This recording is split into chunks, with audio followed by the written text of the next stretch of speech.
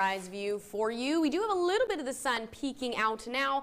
Uh, looks like we still are going to have about another 30 minutes before we finally see that officially rise. And of course, sunrise getting later and later as we continue into the year as well. 87 degrees today, tomorrow around that 90 degree mark, and we are going to see us stick to the 90s for the next few days.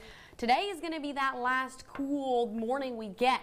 We're going to be back in the low 60s for the foreseeable future. Could see a sprinkle on Friday, but really we're looking, uh, unfortunately, not too lucky with the rain. Now, another look at traffic. This is just outside of us here in Harlingen.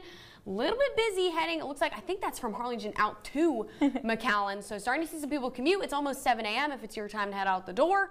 Uh, get moving. We got a great Yeah. day ahead. Make sure you drive safe. I don't see any hazards out there right now weather-wise, but of course be careful, especially while it's still dark out there. Yes, ma'am. All right. Well, Danielle, you always know what kind of day it is. What is today's National Day? National Cupcake Day. National Chocolate Cupcake Day. I messed that up.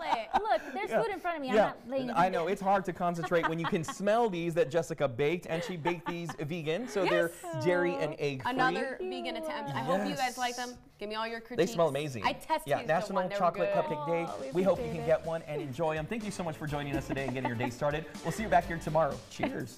Cheers. Cheers.